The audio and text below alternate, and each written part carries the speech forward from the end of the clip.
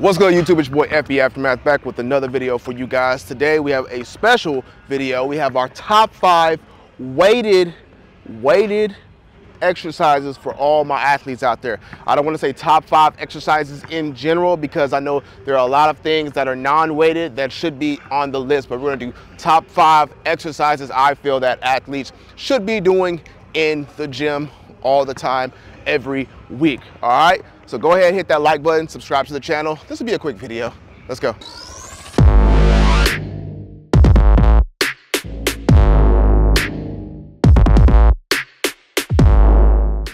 All right, so our first exercise is hang cleans. The reason why this is the first exercise, which is number five, is because of the learning curve that comes with hang cleans. It's not something that you could just pick up and get, you know, right away. Some people who are gifted athletically and have coordination can. Others who, you know, do work out for leisure or whatever will not. Uh, but if you're an athlete, you're, you're probably, I mean, if you're not an athlete, you're most likely not doing this anyways. Um, we're gonna do five sets of five. That's a good range for this exercise. That's gonna allow you to build that strength and explosiveness for training on the field. So if you can't do these, we also have an alternative. You'll grab some dumbbells and you can do the same motion with dumbbells and it's a bit easier as well. And also you get that unilateral strength. So you're not having to focus on just the barbell, which is one movement. Now you have to focus on your left and right side equally. So it's honestly good for beginners to start with dumbbells to get the motion down and then move on to barbells for heavier weights.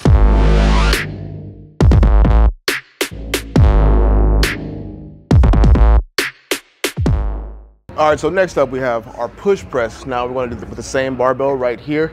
We're going to get under the bar and with the push press, it's, it's kind of like a shoulder press, but you're starting from the ground. So you got a slight bend in the knees and then boom, and bend in the knees, two, three. And once again with the push press, treat it like the hang cleans. Five sets of five. These are gonna be a good amount of, a good amount of weight we're still trying to be explosive, we're still trying to be fast. This is gonna help.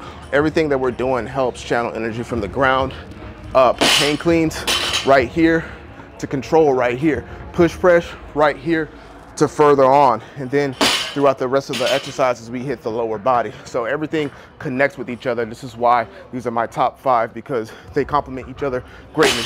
Again, for the alternative to the push press, you can grab our kettlebells, same thing. One, two, three. Also, when you're doing these exercises, think about rhythm. These exercises come with rhythm. It's not something you just jump in and do because you start looking awkward and everything's not in one nice rhythm. When you're doing this, you can't just come in here, do this, and then up. You want one nice fluid motion with the standing up to press. Same thing with the hang cleans. Nice fluid motion to the flicking and sitting back down.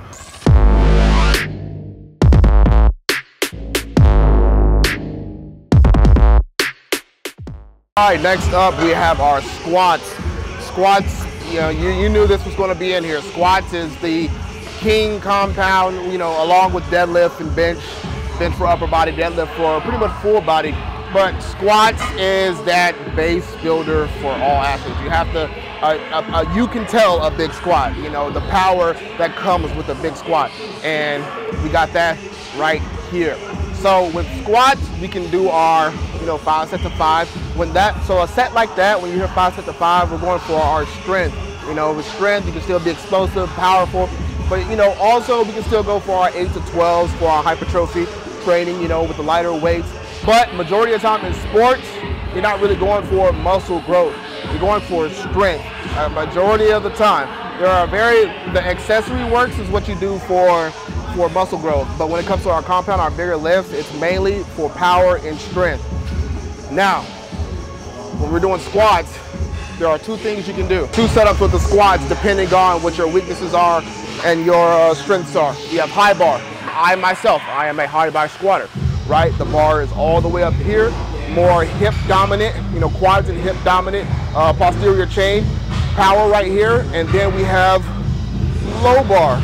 Low bar is going to give you more of a hip hinge. You're going to put more emphasis on your glutes and hamstrings. So if you have weak glutes and hamstrings, this would be a great uh, squat alternative for you to do over the high bar. Majority of people automatically go high bar, but low bar right here, you'll have to get used to it uh, because of your wrist. It allows you to put the weight in a better center of gravity. And honestly, more people can squat more like this, but more emphasis on the glutes and hamstrings for low bar, more on the hips, quads for high bar.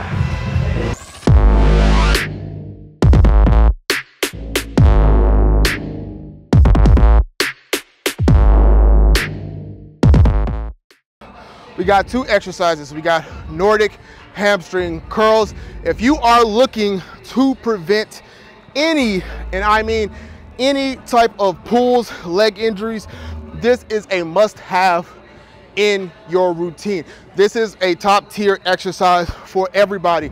Weighted, non-weighted. It does, it's, it's the Nordics, I usually do non-weighted, but the reverse Nordics, I do weighted. The reverse Nordics, it's pretty much the opposite. The first one, the Nordics is for your hamstring, hamstring curls, and then you have the reverse Nordics for your quads. This has, I used to be scared to just take off and sprint. Just, just take off and sprint, you know, with minimal warm up. Now I am literally back to sprinting with no issues, no worries, no thoughts that I'm ever going to pull my hamstring or quad again. And I honestly give it all to these two exercises. And the reason why the reason why they're so important is because they lengthen and strengthen the quads and hamstrings.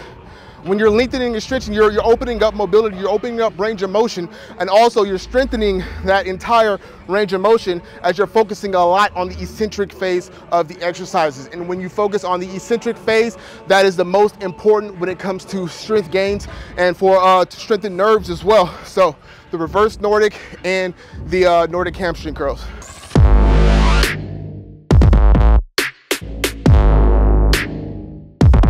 Our last exercise for the day are our prowler pushes, right? We can focus on explosiveness, endurance, speed with this one machine. And you're also able to focus on the proper mechanics when it comes to running, loading, transitioning with the prowler. This is my, this has to be the number one exercise because this is going to be the most translation to things that involve running, to resistance against each other, to building power from the legs while building power in the movements that you are already doing in game, right? So prowler, you can go for 10 yards for power explosiveness. You can go for, you know, 50 to 100 yards for endurance. And also what I like to do for speed is I'll go 10 yards and then come off the edge and do sprints without the prowler. So you do 10 yards and then boom, come off the edge, 20 yard sprints. This allows contrast training. We're under a load and then all of a sudden we're getting right off that load and doing a body weighted movement.